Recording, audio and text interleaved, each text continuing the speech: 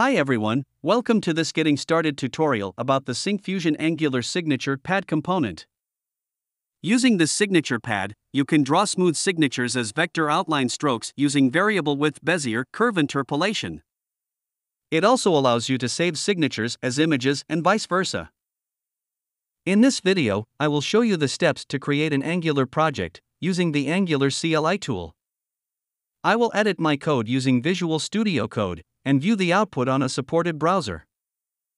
First, I need to install the Angular CLI in my machine using this command npm install -g at angular/cli. Since I have already installed the Angular CLI in my machine, I am skipping this step.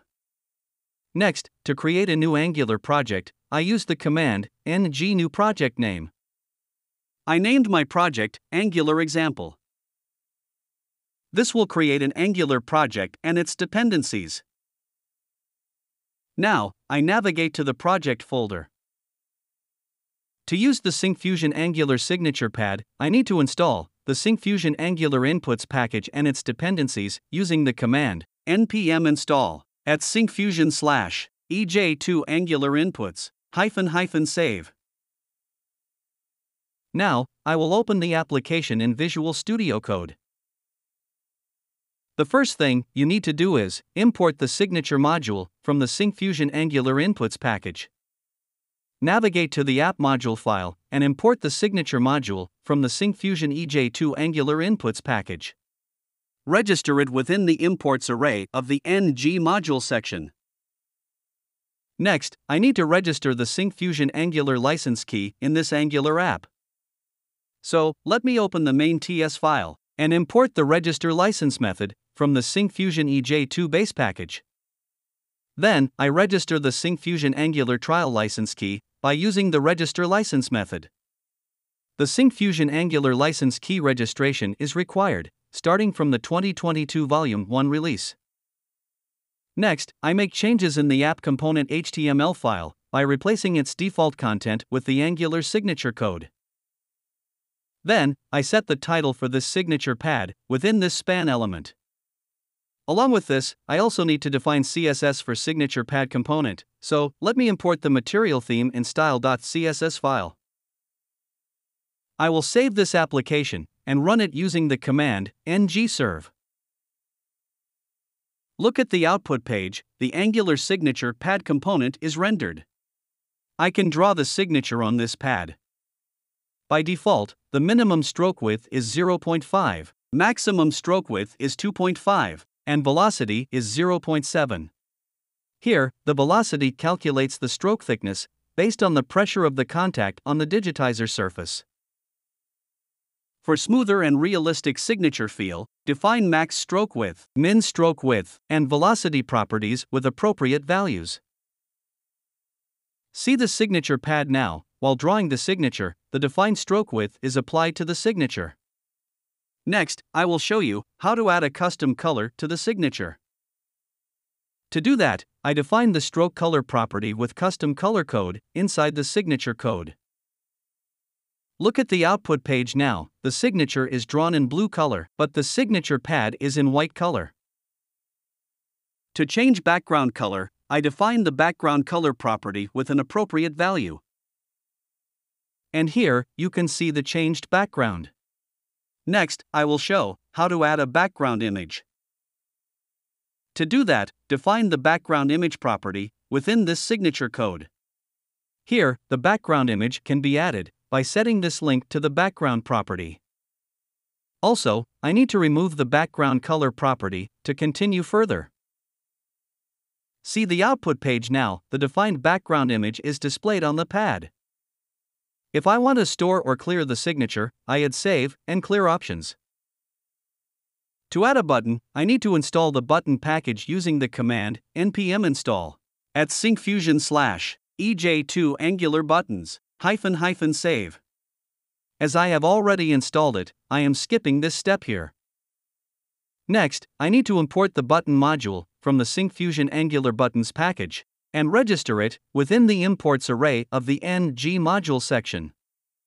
I then make changes to the app component HTML file by adding the Angular button component inside the span elements. I set the button content for these buttons. I plan to set save button type as information, so I assign the CInfo class to the CSS class property. Along with this, I also need to define CSS for button component, so let me import the material theme in style.css file.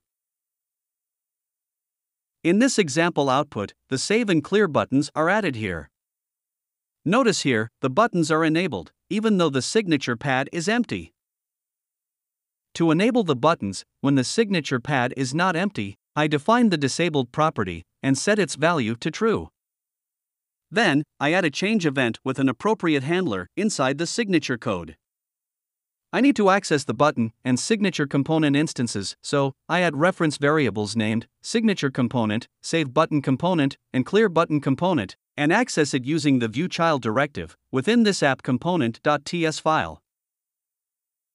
Then, I define the variables save button object, clear button object, and signature object of type button and signature component to get the instances. Also, I import the ViewChild directive, button component class, and signature component class from Angular Core and Syncfusion EJ2 Angular buttons and inputs package to access the child component instances. Finally, I add a condition that, if the signature pad is not empty, then I will set disabled property value to false for these buttons using its button reference instance. As you can see, in the output page, the buttons are disabled initially, and while drawing the signature, the buttons are enabled. Next, I will write the logic to save and clear the signature. First, I will add the click event with an appropriate event handler for this button's component. Then, I define save button click and clear button click methods and call the public methods save and clear to save the signature as an image and clear the signature. After clicking the clear button, the save and clear buttons should be in a disabled state. So, let me add a condition if the signature pad is empty, and set the disabled property value to true within this clear button click method.